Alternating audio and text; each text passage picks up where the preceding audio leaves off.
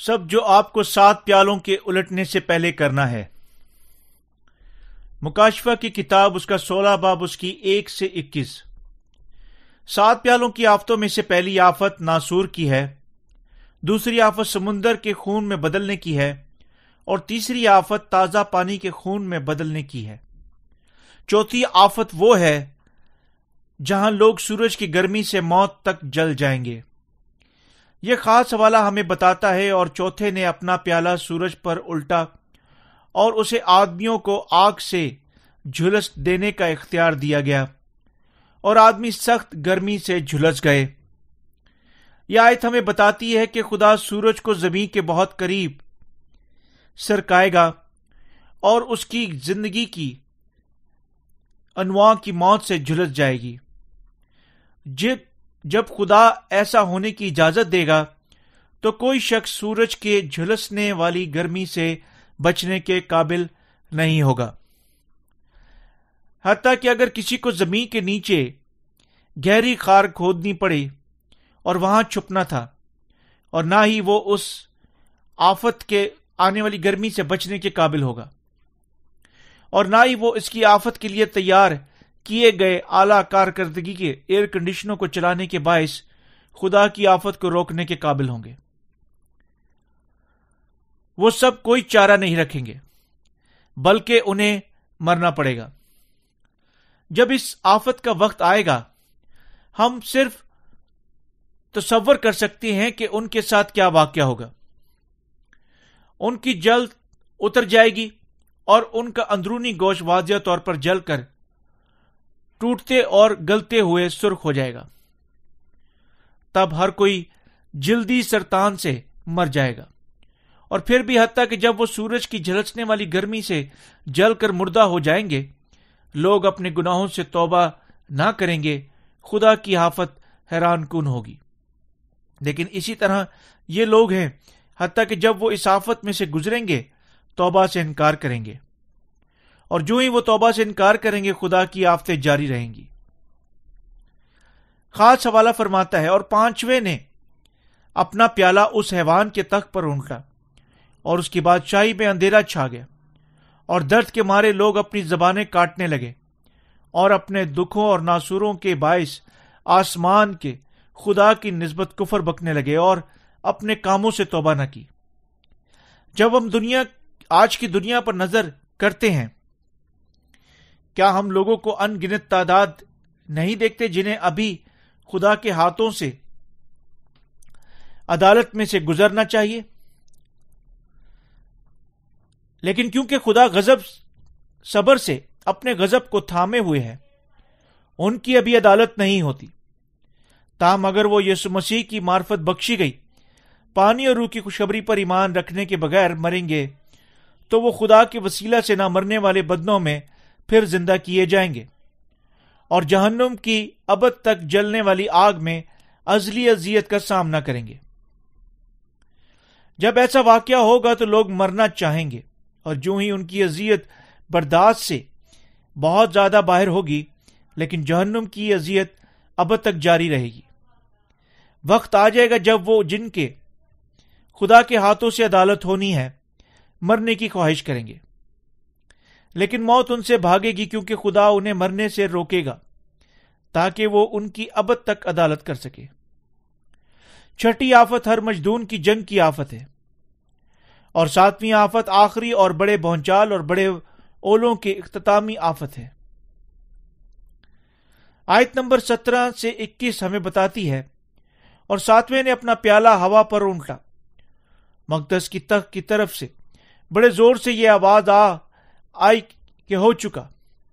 फिर बिजलियाँ और आवाज़ें और गरजे पैदा हुई। और एक ऐसा बड़ा भौचाल आया कि जब से इंसान ज़मीन पर पैदा हुआ, ऐसा बड़ा और सख्त भौचाल कभी ना आया था और उस बड़े शहर के तीन टुकड़े हो गए और कौमों के शहर गिर गए और बड़े शहर बाबुल की, खुदा के यहाँ याद हुई, ताकि उसे अपने सख्त गजब की मैं का जाम पिलाए। और हर एक टापू अपनी जगह से टल गया, और पहाड़ों का पता न लगा। और आसमान से आदमियों पर मन मन भर के बड़े बड़े ओले गिरे, क्योंकि ये आफत नहायत सख्त थी। इसलिए लोगों ने ओलों की आफत के बायस खुदा की नस्बत कुफर बका बलाई हवाला हमें बताता है कि जो ही खुदा सातवें प्याले को उल्टेगा, बड़ा भौचाल कुरर्स पर टकराएगा। तमाम दुनिया तीन हिस्सों में तकसीम हो जाएगी। और तब तक इस ज़मीन पर खड़ी हुई इमारतें, उनमें से एक को भी बाकी मुकम्मल ना छोड़ते हुए सब जमी बोस हो जाएँगी। जो ही ये खुदा, दुनिया खुदा के गजबनाक कहर के मातहत निशाना बनेगी, तमाम टापू, पहाड़ गायब हो जाएँगे। जब ऐसा वाक्य होगा तो क्या वो हमालिया फिर भी खड़ा होगा? बेशक नहीं। तमाम ऊँचे पहाड़ ज़िंदा लोग की आँखों के सामने बिल्कुल गायब हो जाएँगे। इस दुनिया में हर एक पहाड़ बिला निशान सादगी से धुआँ बनकर उड़ जाएगा। यह हवाला हमें यह भी बताता है कि बड़े बड़े ओले हर एक ओले वज़न का सौ पाउंड पैंतालीस किलोग्राम से भी ज़्यादा होगा। इस ज़मीन पर गिरेंगे। क्या कोई मौजूद होगा जो इन जलजलों और ओलों में से बाकी बच सकेगा? मुकाशवा की किताब उसके अठारहवें बाब हमें बताता है कि खुदा का कहर उन पर उंडेला जाएगा जो उस पर ईमान नहीं रख चुके और जो उसके कलाम को नजरअंदाज कर चुके थे। इस दुनिया में बाज लोग दावा करते हैं, जिस तरह आया वो आला मखलूक थे। मैं कभी खुदा के कहर के मातहत निशाना नहीं बनूँगा, और ना ही मैं कभी उसके हाथों से अदालत की सजा उठाऊँगा। तहम खुदा की अदालत इस किस्म के लोगों पर बाकायदगी से लाई जाती है, जो अपने जाति गरूर और तकबर से भरे हुए हैं।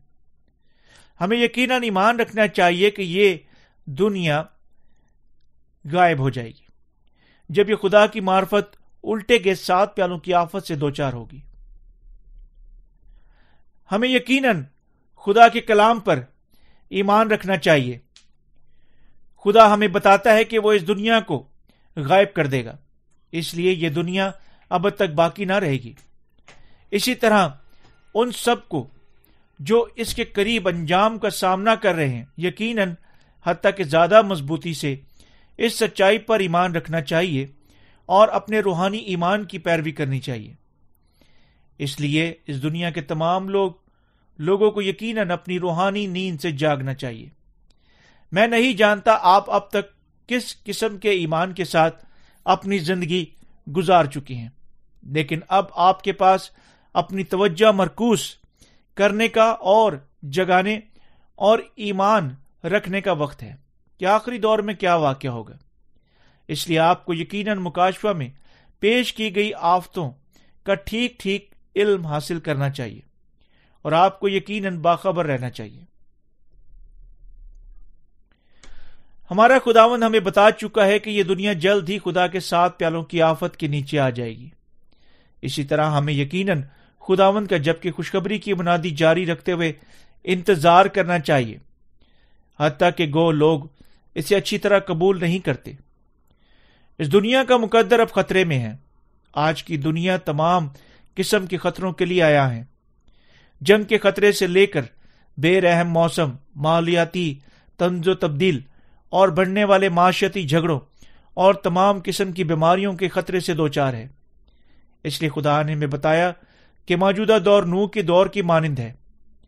अगर मौजूदा दौर नू के दौर की मानंद है तो इसका सिर्फ़ ये मतलब है कि दुनिया अब अपने आखिरी आयाम में दाखिल हो चुकी है।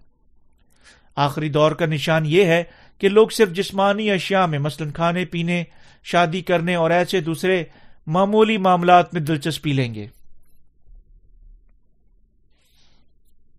इसलिए कि वो खुदा के हाथों से परखे जाने के मुस्तैद हैं। नू के दौर में भी ऐसे लोगों ने ना सुना कि नू उन्हें क्या बता चुका था। और इस तरह वो सब माँ सिवाय नू और उसके खानदान के आठ अफराद के तबाह हो गए। इसी तरह आने वाली दुनिया उस दौर की मानंद होगी। तकरीबन तमाम अशिया जिनका खुदा वादा कर चुका है, पूरी हो चुकी हैं।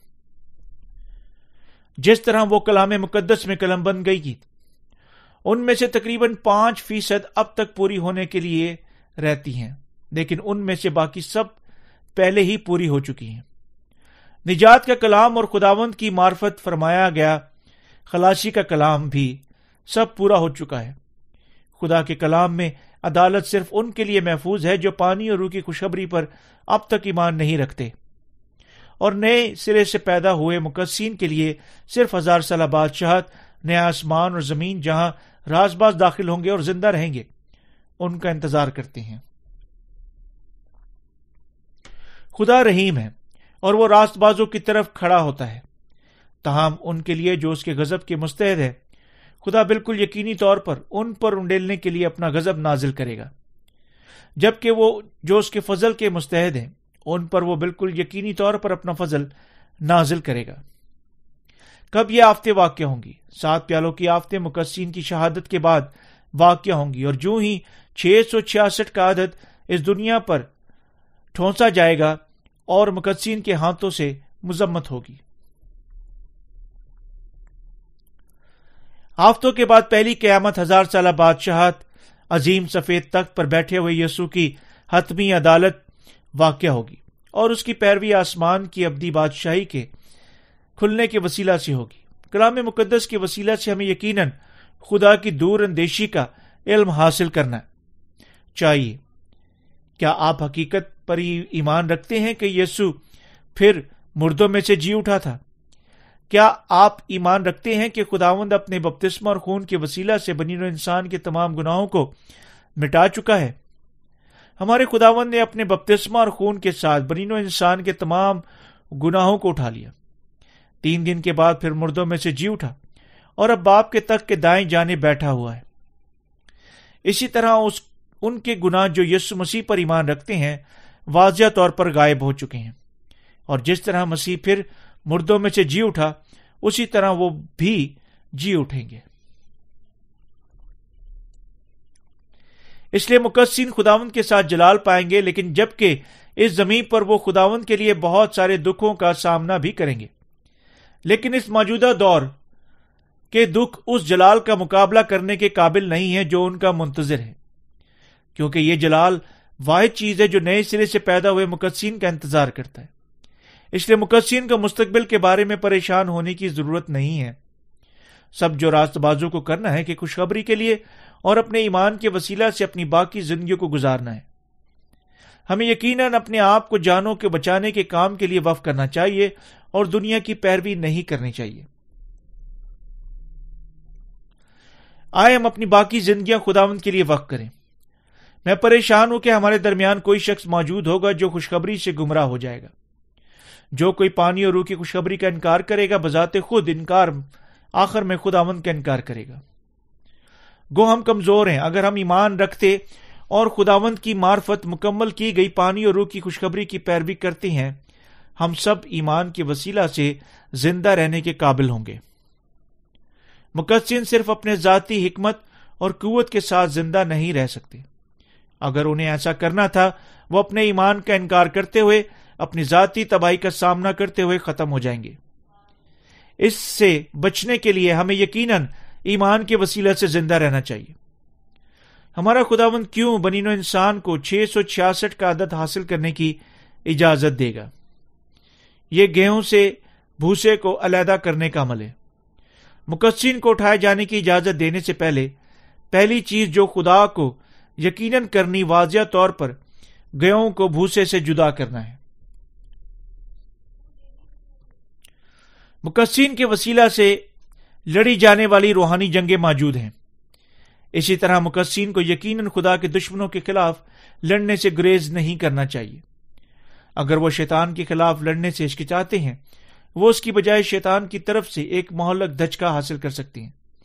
इसलिए तमाम मुकस्सिन को यकीन लड़ना चाहिए और हत्या के वजाते खुद रूहानी जंग लड़ सकते हैं। तमाम रूहानी जंगें जो मुकस्सिन लड़ते हैं, हक के बजानेब हैं। खुदा की पैरवी करने के लिए हर मुकद्दस को यकीनन शैतान और उसके नौकरों के खिलाफ लड़ना और गालिब आना चाहिए। मुकदसिन को यकीनन खुदा की बादशाही के लिए लड़ना चाहिए। वो यकीनन खुदा की बादशाही के लिए सताए भी जाने चाहिए और दुनिया के लोगों से नफरत भी उठानी चाहिए। यानी मुकदसिन को खुदावंत की तरफ़ से लड़ने का मौका दिया गया है। बजाते खुद एक अच्छी बात है। अगर आपको खुदा की तरफ़ लड़ने का मौका दिया गया है तो आपको उसके लिए शुक्रिया अदा करना चाहिए। ऐसी लड़ाई एक अच्छी लड़ाई है, क्योंकि ये लड़ाई खुदा की रास्तबाजी के लिए है। खुदा रास्तबाजों की मदद करता है। हमारी जिंदगियों में बहुत सारे दिन बाकी नहीं बचे हैं। और मेरी उम्मीद और दुआ यह है कि हम सब रूहानी जंगें लड़ते हुए, जब तक खुदावंत के सामने खड़े नहीं हो जाते, रूहानी काम करते हुए अपनी बाकी जिंदगियाँ गुजारेंगे। कोई मायने नहीं रखता इस दुनिया के लोग हमसे क्या कहते हैं। हमें रूहानी जंग लड़नी चाहिए। रूहानी फल पैदा करने करने चाहिए और ये फल अपने खुदावन के सामने पेश करने चाहिए।